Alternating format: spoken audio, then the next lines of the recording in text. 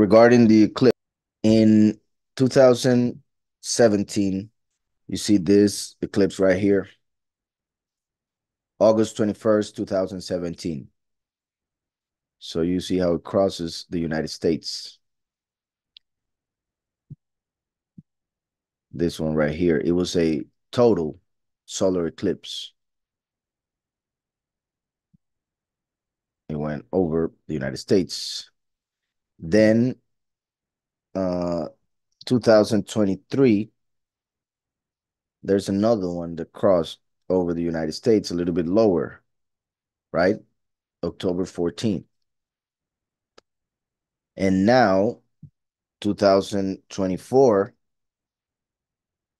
by the way, this one right here in the true calendar happened on a day of fast, meaning a day of affliction. Now, 2024, we have this other one. You see how this one goes like, let's seeing it from left to right goes down. And the one coming from left to right goes up, crossing once again the United States. This on April 8th, that will happen on the 7th, meaning, no, the sixth day of Matzot, unleavened bread, which is after they killed Mashiach. In fact, it is after he went up to heaven. So Yahushua is the light of the world. When he went up, the world became dark, spiritually speaking. Just like this day, it will be darkened because of the eclipse. And if we unite these eclipses, they make this big X over the United States, which can be interpreted as Yahweh um, putting a sign on the United States that it is over as an empire. Remember that in 2026, in 2026, um, the United States will reach the highest amount of years uh, or the amount of years which is the average of the duration of an empire. So according to history, the United States is in its last days. And according to signs in the heavens, it appears to be confirmed. It appears that this coming eclipse is like the last confirmation of it, um, of the United States coming to an end as the world, um, the world power, as it has been for so long. Uh, we know its economy is about to explode from so much inflation. Um, and well, you guys know the precedent and how bad it is. and uh, the elections that are coming are also key. And it's going to divide the United States a lot, sadly, which is also part of what this X represents. Now, the positive of it is that the X in the pictographic is also the letter Tav. So in Hebrew is the Tav. So it would represent that Yahweh comes to seal his chosen few. And and if we take it like that, and hopefully that is part of the sign, um, then there will be a lot of sealing in the United States. Um, the last is represented by the letter Taf, So it, be, it could be connected also to the manifestation of the last to seal the chosen few by the end of the United States, meaning uh, the end of his uh, world power.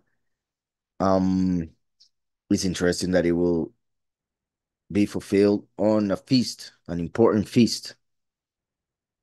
And if we take in account the other eclipse that I mentioned, then this is the shape that is formed, which as you can see, it is the letter Aleph in the pictographic. So you can see the Aleph and the Taf formed by these three eclipses from 2017 till 2024. And remember that in 2017, there was a great sign in the heavens on September 23rd, which is what we see in Revelation 12 Virgo, dressed in the sun, with the moon on her feet, and a crown of 12 stars over her head. To also announce the coming of the last. The last is the Tav, but it's also the ox because he comes from the tribe of Ephraim, the tribe that came from Yahusef. They are both represented by the ox. And the ox is what the letter Aleph represents. Its shape is the head of an ox. Here would be upside down. This would be the head. This would be the horns. And these would be the ears. So Aleph and Tav, as in the last, it would refer as the descendant of Ephraim coming as the last to seal the chosen few. So that is the powerful and positive sign that I see from those three eclipses. But from the fact that the end of the United States is approaching and is obvious, even if there were no signs in the heavens. Um, the fact that it, it is an X, um, that could be obviously negative for the United States. Uh, what else? And like I said, the um, uh, so I was gonna say what else? Oh yeah, and the fact that it's happening, that one of them happened on a fast, and the other one happened or is going to happen on on a feast. Um, that I believe is key to what Yahweh may do.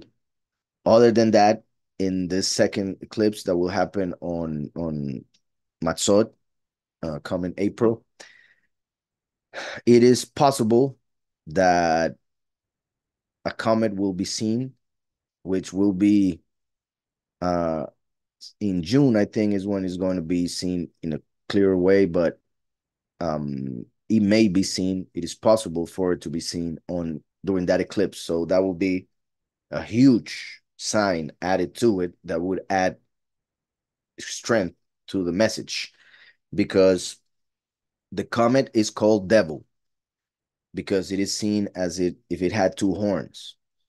Um, in history, there are many stories that tell of times in which people have seen a comet in the heavens and then something huge happens on the earth. Mainly, either a good or very, very wicked leader appears after a comet. The comet looks like a horn in the heavens, and a horn in scriptures represents a leader, um, an authority. Remember that the beast is a little horn, according to Daniel.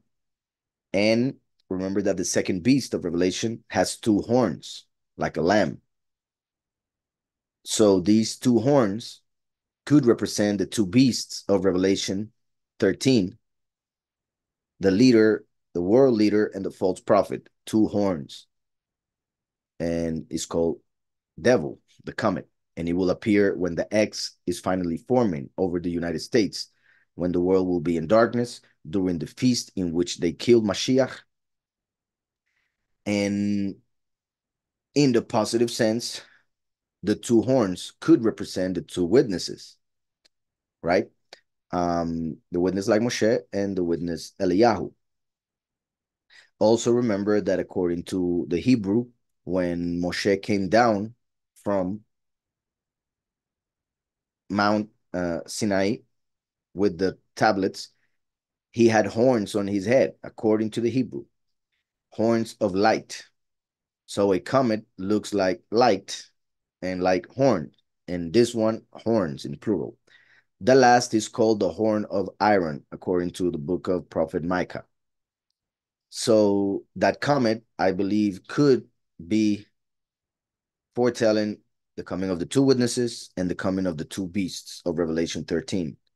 I believe it could be referring to both manifestations, the positive and the negative, just like I mentioned, the positive and the negative regarding this X or Aleph and Taf that is formed over the United States. And lastly, um, let me go to Stellarium. So if we go to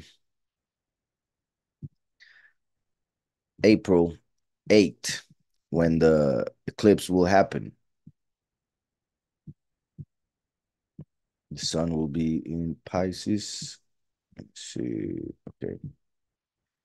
So you see how Pisces represents also the two witnesses that are next to the lamb, right? The lamb would be Aries. So here's Pisces as the two witnesses. One of them, the son of righteousness. They are both in front of the lamb, who is Mashiach. Remember the two that are in front of the mighty one of all the earth. So Aries is the lamb, Mashiach. The two witnesses, one is the son of righteousness, and that's when the eclipse will happen that day. Um, and that day, as you can see, you can see here there are two planets right here together at the feet of the lamb. Then we have two other ones in Pisces, Mercury and the moon. Then we have Venus, then Mars and Saturn. So we have one, two, three, four with Mercury that is right here, five, six, and I think there's one that is missing. But I know it's there. It's just too little. So, um, oh yeah, it's the planet Neptune. It's around, but it's too little to be found like that. Let me, if I put, there you go. It's right there. So it's very hidden. And only if I get too close, it says the name. So you see how we have seven planets plus the sun and the moon. That's nine. So that means all of the luminaries that move through the 12 constellations, all of them would be aligned on the day of the eclipse. Supposedly, all the combination of those seven planets, the sun and the moon, an eclipse, and if we add the comet, that is a combination that has never happened in history. So that would mean it's an important sign. And the fact that it's happening on a feast, to me, it is huge. So what I was saying, the alignment is huge. I find interesting the two planets that are on the feet of Aries and the two planets that are in Aquarius, as in first and last, beginning and end, the Lamb who died for our sins, and the one who brings the water of life, the, the testimony of Mashiach, the teaching that Yahweh sent into the world to fill the earth with the water, as it says that Yahweh will, uh, that the knowledge of Yahweh will fill the world like water fills the sea covers the seabed. So Mars and Saturn over here. Um, well, I'm sure we could speak more about it and what it all represents, but just that. Also, there are some who connect. Oh yeah, something else that I wanted to say. Some connect this uh, as a whale. This constellation that you see there and they connect. Well, he's, he's a whale. You could, you could, well, he's a sea creature. and I wouldn't be surprised if, um, in some cultures, is a whale. But the figure that you see there, the face, I don't know what it is. Let me, if I, the name itself means uh, this uh, figure, um, you see, dating back to the Sumerians and Babylonians. So that's where that figure comes from, or that name for that constellation. And you say, who is associated with their mythical dragon, Tiamat. Now, this is pretty much Leviathan, right? Leviathan is also called Tiamat by the Sumerians and the Babylonians. It is a sea dragon, the dragon of the sea, and it represents Samael. But also, when the scripture says that Jonah was swallowed by a big fish, it, it makes reference to this mythic, well, this dragon, Leviathan. Um, you see, it says some kind of sea monster, and it was the, it was the monster sent to devour on Andromeda. So, just like there was a monster in the sea that was sent to swallow Jonah. So all that we were just saying regarding this, the alignment of all the planets, including the sun and the moon, all the nine who go through the 12 constellations will be close together during the eclipse. The seven as the menorah, the nine as the Hanukkah, the nine spirits, I mean, the nine gifts of the spirit, the nine fruits of the spirit, the seven, everything that has to deal with seven, completion, of course. Nine gives reference to or makes reference to birth. Um, there will be an eclipse making an X over the United States. That eclipse will pass over a place called Yonah. The coming of the Son of Man will be like the days of Lot, the days of Noah, but also Yahushua said that the evil generation would not receive a sign except the sign of Yonah, which refers to the fact that the last will die and resurrect three and a half days later. But it's amazing that the eclipse will happen right over the constellation that represents Leviathan, the creature that swallowed Yonah. And the eclipse will be seen or pass over a town called Yona and then over two towns called Nineveh. According to some, it will go over eight towns called Nineveh, but I found some um, fact check that it said that it wouldn't be seen on eight places, meaning there are places called Nineveh, Nineveh uh, in the trajectory of the eclipse, but only in two of those places called Nineveh, the eclipse will be seen total in the in the way that uh, that it should, I guess. So there are other places called Nineveh, but it won't be seen as in those two. So how amazing that it goes the eclipse through Yonah and then to Nineveh, as meaning that is a sign of Yonah. When the eclipse is right over Leviathan, who swallowed Yonah for him to go to Nineveh and preach in a city that would take three days to walk around it, just like the last, and Eliyahu will last three years and a half preaching around the earth, who is acting as Nineveh. So, yeah, it is very important. I do believe that sign, Matzot, the alignment it will go through Yonah and Nineveh. Is right over Leviathan. Is in Pisces, like the two witnesses. There will be a comet. Um, that could refer to the coming of the two beasts and the coming of the two witnesses. So almost 10, and I guess I could continue. But yeah, it seems to be very significant. Just the fact that there's an eclipse, an alignment, and a comet at the same time, only that is huge. When we add the fact that it's going to be seen on Yonah, Nineveh, and Nineveh, that is going to make a cross, a tav, an aleph, the timing in the United States as an empire getting to the limit, the timing in the sense that it will happen on a feast. Um, everything is very, very powerful. I I do believe so. Hopefully that was clear. Hopefully I'm not forgetting anything.